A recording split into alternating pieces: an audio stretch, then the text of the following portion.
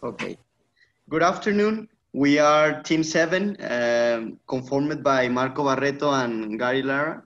And we're going to talk about our project, which is water pollutant agents. Next one. Uh, this project is, is about the Zapotlan Lake, which is located in Jalisco, in Zapotlan El Grande municipality. Is the second largest lake in Jalisco, and it is uh, monitored by the Jalisco State Water Commission in four sampling points uh, along the lake. Next one, please. Um, there are so many water quality variables that allowed us to know how a water body like a river, a lake is, uh, and if it is healthy for the population near or, or also for the biodiversity. Among these, we have total suspended solids, chemical oxygen demand, phosphorus and nitrogen content, among others. And these are often measured in authorized laboratories um, from, from samples taken from the lake. Next, please. Um, well, for our project, we uh, have data from uh, September 29 to 2009 to April 2018. Uh, these data sets includes information of three numerical continuous water quality variables, which we are going to explain later. Um, and the purpose of obtaining this data was to analyze uh, which groups of pollutants uh, exceeds the permitted levels and associated with uh, different activities carried uh, around the lake and, and some milestones such as, for example, the changing type of agricultural activities and also the introduction of, of water treatment plants. The next, please.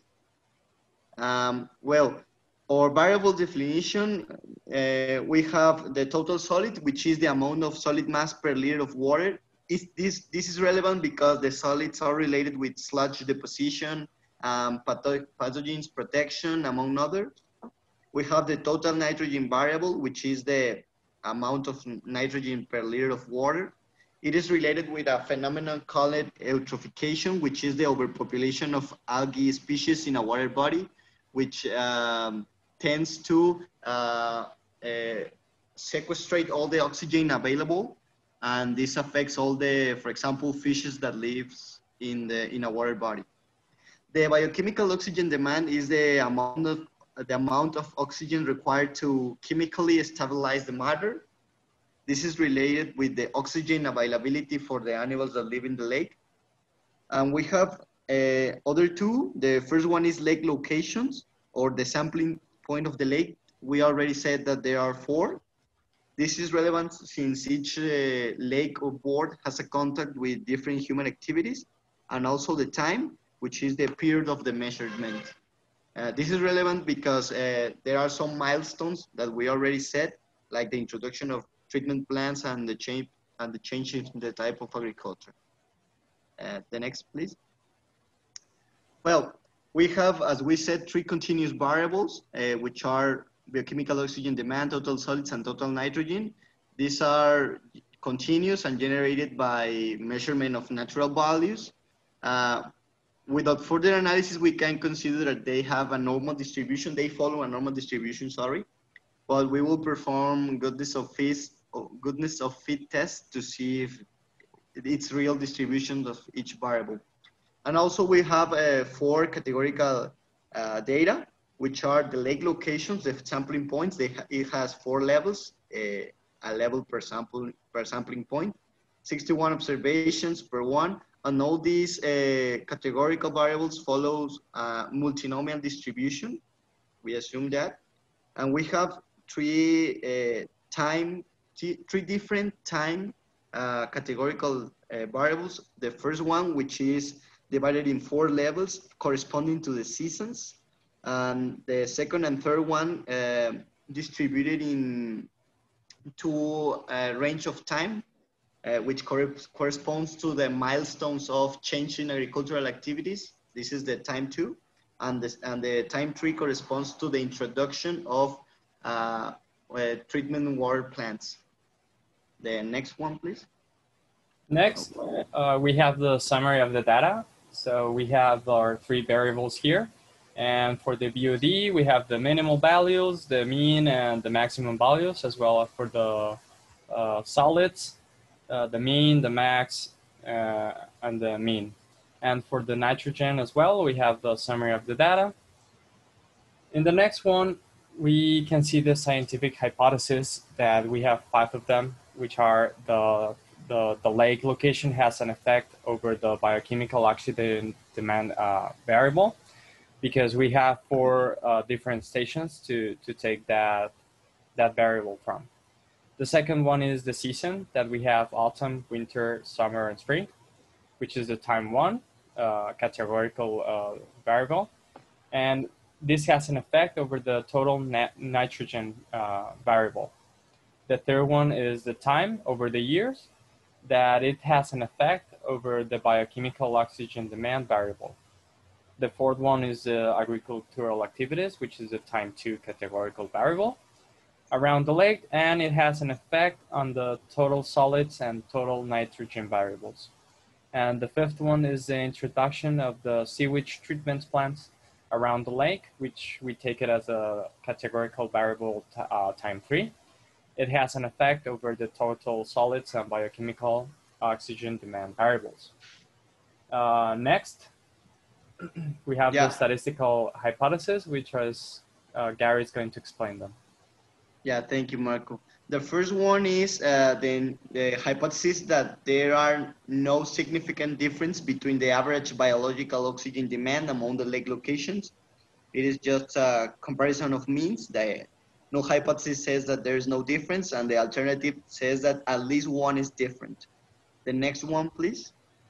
Uh, the second one is that there are no significant difference between the average total nitrogen concentration among seasons it's the same as the previous one. Uh, we have the, the average of nitrogen concentration in each season, and this is the null hypothesis, which means they are all equal, and the alternative is that at least one is different. The third one is that in order to see if, if the biological oxygen demand it it changed uh, uh, along the years, we will seek to uh, perform a polynomial regression of n order. And our new hypothesis will be that uh, if the nth term uh, it's equal to zero, this is the null hypothesis, then the polynomial does not fit well for the given data. But if it's different from zero, then the polynomial fits well. The fourth one, it's that, um, next one, please. The fourth one is that there are no significant difference between the average total solids concentration among periods with different agricultural activities. Here, let me to explain. The change in agricultural activities, it is contained in the categorical variable named, named time two. Time two, as we already said, has two levels. One level is from 2009 to 2014, and the second one is from 2015 to 2018. These two time frames are uh, well, time frame one, time frame two. We are uh, we were going to calculate the average of total solids concentration in the period one and in the period two. Why? Because of two periods. Because in the middle, in 2014, there uh, agricultural change, agricultural activities change was introduced so we are going to see if the average total solid concentrations uh, uh, have been affected from that change. And the five, the statistical hypothesis five will be uh, the same, but with the total nitrogen concentration.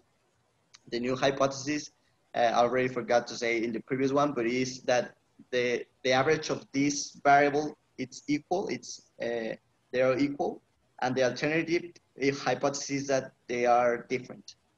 For the sixth uh, statistical hypothesis, we have that there are no significant difference between the average total solids concentration among periods with different presence of water treatment plants. This uh, function, functions very similar to the fourth and fifth uh, statistical hypothesis because they are working two time frames. We have time frame one, which is uh, before the introduction of water treatment plants, and we have the time frame two that what that is after, and we're going to see if this variable, the average of this variable, it's different between those periods. So the new hypothesis is that the new hypothesis, sorry, is that they are equal, and the alternative is that they are different. The seventh the statistical hypothesis is the same that the sixth, but with the biological oxygen demand. Um, and there are the, the null and the alternative hypothesis pretty the same, but with the another variable. So for then the next, well, the parameters identifications, uh, since we are assuming that our data follows a normal distribution, as we said uh, previously, in order to test our statistical hypothesis, we need to estimate two principal parameters. First, the means to perform the, the test, for example, the, the ANOVA test, and also the, the variance to test if to fulfill the, the ANOVA requirements such as uh, homogeneity, such as variance homogeneity, sorry. Um, however, this could, however, uh, in case the data doesn't follow a normal distribution could, uh, could be performed non-parametric uh, such as Wilcox or Mann-Whitney U. And also, uh, in case we need to calculate, for instance, the probability that one of our response variables falls in a fixed values range, it will be useful to estimate uh, the parameters needed uh, or related to that variable distribution or uh, in a better description to find which uh, distributions uh, fits better on our data and calculate its parameters, which is what we already do. We already made, sorry. The next one. And well, for this one, uh, we calculate the distributions. We identify the distributions for three variables using the R-risk distribution library. And for our first variable, which is the TS, the solids, we find out that it follows, follows a logic distribution logistic, I mean. And for the next, next one, uh, which is the nitrogen, we see that it follows a chi-square distribution. And finally, for our BOD variable, which is the biochemical oxygen demand, it follows a gamma distribution. And for this presentation, uh, we take the BOD variable to find the prior, the likelihood, and obtain the posterior. Uh, the function is presented in terms of the parameters beta and alpha.